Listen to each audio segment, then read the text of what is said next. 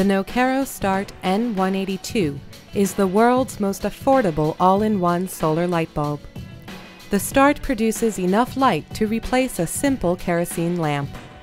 It is affordably priced for the billions of people who live on less than $1 a day and do not have access to electricity. This small, portable solar light is Nokero's most compact model.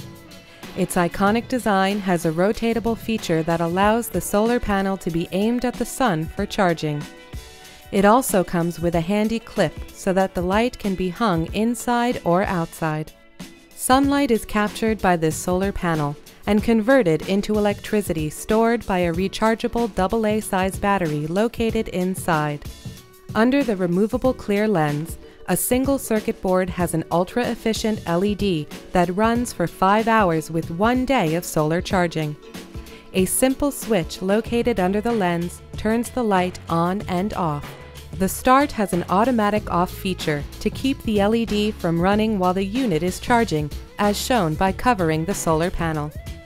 To find out more about the Start or to explore Nokero's award-winning products, go to nokero.com.